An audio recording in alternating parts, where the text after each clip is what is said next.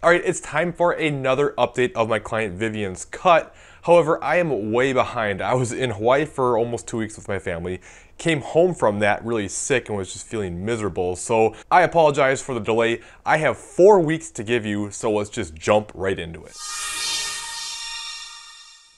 Really quick first though, some people may have missed weeks three and four, and this is because I titled the video a little bit differently and I titled it consecutive day refeeds and didn't make it very clear that it was a cutting update, so I apologize for that. If you missed it, you can go check that one out first and then come back to this one after if you wanna make sure you keep up with everything. Anyway, when we last left off, weight really hadn't been moving very much, but I talked about several different reasons why it may be elevated and that we'd just give it another week, and if things don't move, then we'd make some adjustments. Well, unfortunately, it turned out things really didn't move. She only lost a little over a tenth of a pound. So the real question, as I mentioned last week, was either do we take a diet break first or do we just make some adjustments down to try to get the process going right away? What I decided to do was go ahead and give her a diet break, and there was a couple reasons for this. One is that she had been dieting for five weeks, so it wasn't a bad time to implement one anyway, but the bigger reason was she was going on a four day snowboarding trip, and I wanted to give her some extra calories. I also talked to her about some different strategies she could use to be more flexible. If she didn't want to track, I was 100% okay with that. To me, life is all about experiences and memories, and I don't feel like we should be taking vacations like this and stressing out about food, stressing out about tracking our macros, feeling like we need to restrict ourselves.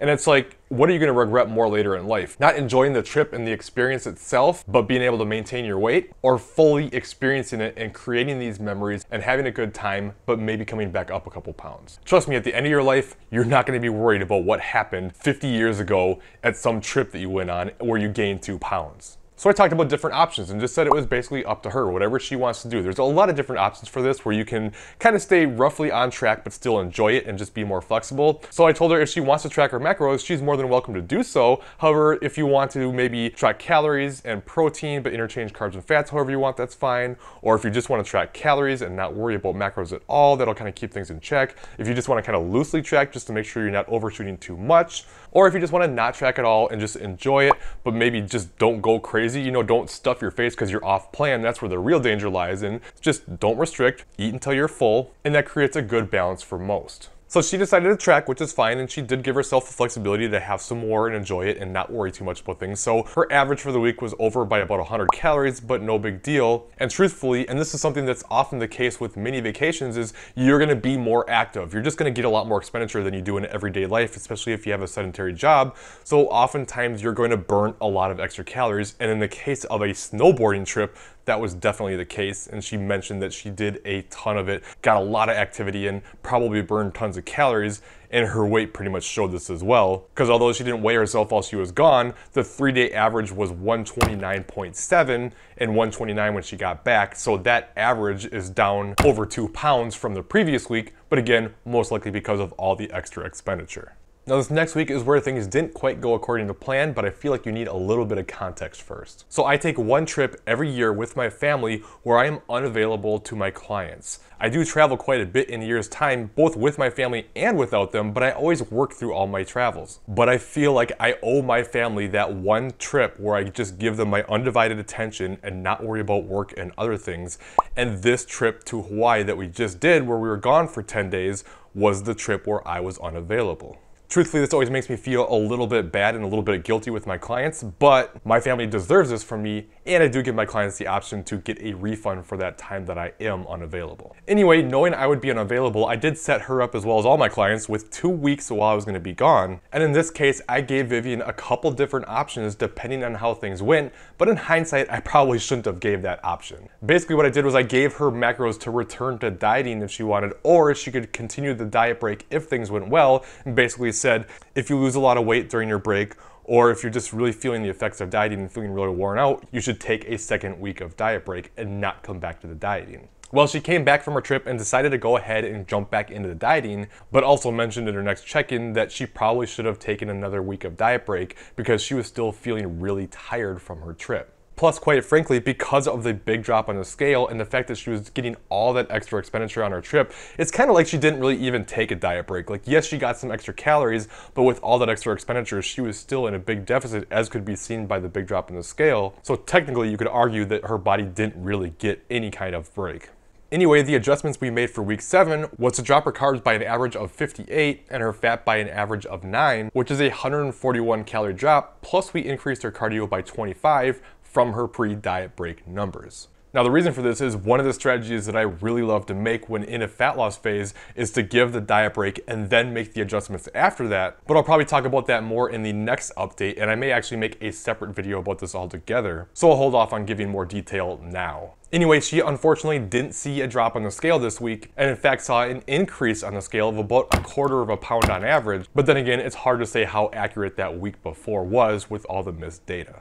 Not only that, but she mentioned that she strained her back pretty bad. And anytime you're dealing with any kind of injury, you're gonna have extra inflammation. And anytime you have extra inflammation, you're gonna see a spike on the scale. That said, by the time her check-in actually came around, she mentioned that she was feeling much better, but I was basically left with a choice here. Do I either give her a diet break since she essentially didn't get one before and we're not seeing much weight loss, or leave things the same because we've only been on these macros for one week now and just give it some time to see what happens. So I decided I didn't want to give her a break after just one week, and let's just give it one more week to see what happens in week eight and also see how she's feeling by the end of that week.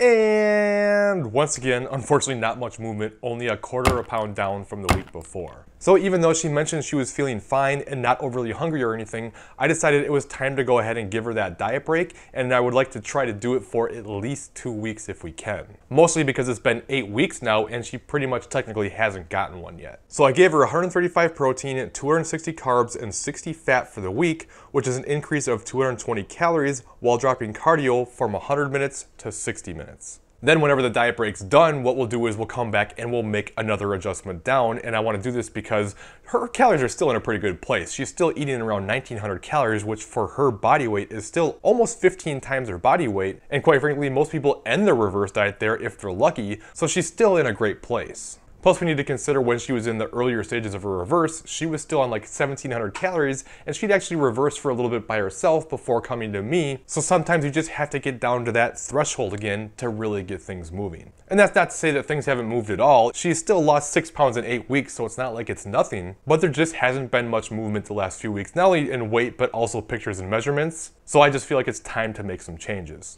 And this is a good thing to always keep in mind. I know that plateaus can be really frustrating. They, they, can be, for sure. But you also have to understand that it's just part of the process and it's something that's pretty much unavoidable. So we just have to adjust and move forward and not let our emotions get the best of us and end up doing something that's gonna set us back or something that's not in our best interest just because you're frustrated. And I'm pretty dang confident that after we get through this next little phase and go through the diet break and then make some adjustments, things are gonna move pretty well for her. And honestly, I actually wouldn't be that surprised if we see some movement during the diet break itself, but we shall see. Now do this next. To find out more about how to lose fat without losing muscle, make sure you check out this top video and I'll take you through everything you need to consider to make sure you keep your gains while losing that fat.